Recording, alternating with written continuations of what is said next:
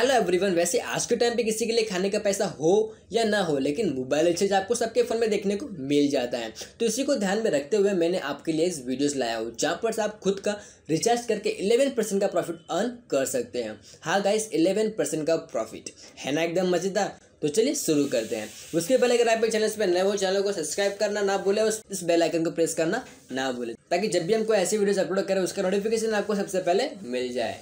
लेकिन उससे पहले हम एक लॉजिक की बात करते हैं। जब हम कोई भी रिचार्ज करते हैं तो कंपनी ट्वेंटी एट डेज़ का ही रिचार्ज क्यों प्रोवाइड करता है हमें। थर्टी डेज़ का प्रोवाइड क्यों नहीं करता? दो दिन हमें कंपनी रिचार्ज क्यों नहीं देता? तो आइए जानते हैं।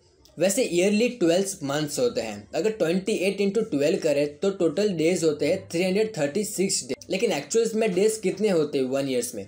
एक्चुअल्स में day three hundred sixty five days होते हैं। अगर हम recharge day minus actual days करें तो ट्वेंटी नाइन डेज़ एक्स्ट्रा निकल के आते हैं, जहाँ पर आपको ईयरली ट्वेल्व रिचार्ज नहीं, बल्कि थर्टीन रिचार्ज करने पड़ते हैं। तो बड़ी बड़ी कंपनियाँ इसी मार्केटिंग स्ट्रेटेजी का यूज़ करके अपना बिज़नेस रन करते हैं। लेकिन हमें इलेवन परसेंट का प्रॉफिट कैसे होगा? तो गाइस एकदम सिंपल है। जब आप ट्वेंटी एट डेज़ का रिचार्ज करवाते हो वन नाइन्टी नाइन का, तब आपको ईयरली टोटल कॉस्ट होता है two thousand three hundred eighty eight rupees then वहीं अगर आप जियो का दूसरा प्लान लेते हैं, जो कि है two thousand one hundred twenty one जहाँ पर आपको three hundred thirty six days का ही रिचार्ज मिलता है। लेकिन, यहाँ पर आपका two hundred sixty seven rupees का प्रॉफिट बुक हो जाता है। कैसे? तो देखिए अगर आप वन नाइन्टी नाइन का रिचार्ज करते हैं तो आपको टोटल कॉस्ट लगा two thousand three hundred eighty eight rupees वहीं अगर आपने वन ईयर्स का एक ही बार बड़ा प्लान कर लिया तो आपको टोटल कॉस्ट लगा two thousand one hundred twenty one rupees मतलब two thousand three hundred eighty eight minus two thousand one hundred twenty one two hundred sixty seven profit आपको यहाँ पर देखने को मिल जाता है. मतलब इलेवन परसेंट का प्रॉफिट आपको समझ में नहीं आया?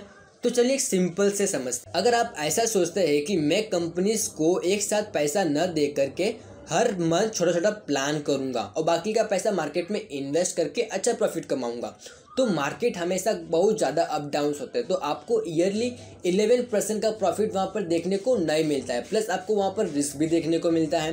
तो वही इलेवन परसेंट का प्रॉफिट आप बुक कर सकते हो खाली एक रिचार्ज के प्लान से। अगर आप वन नाइन्टी नाइन का रिचार्ज करवाते हो तो आप ईयर के एंडिंग में टू सिक्सटी सेवन रुपीज़ आपको एक्स्ट्रा देना पड़ता है कंपनीज़ को। वहीं पर अगर आप पहले ही two thousand one hundred twenty one का रिचार्ज कर लेते हो तो आपको ईयर्स में टू सिक्सटी सेवन रुपीज़ का सेविंग यहाँ पर आपको बच जाएगा। मतलब हुआ ना इलेवन परसेंट का प्रॉफिट तो यही प्लान आपको जियो में भी देखने मिलेगा एयरटेल में भी देखने मिलेगा, और वोडाफोन आइडियाज़ में भी आपको देखने को मिल जाएगा। तो आप जब भी कोई रिचार्ज करें तो बड़ा प्लान लेकर के ही करें।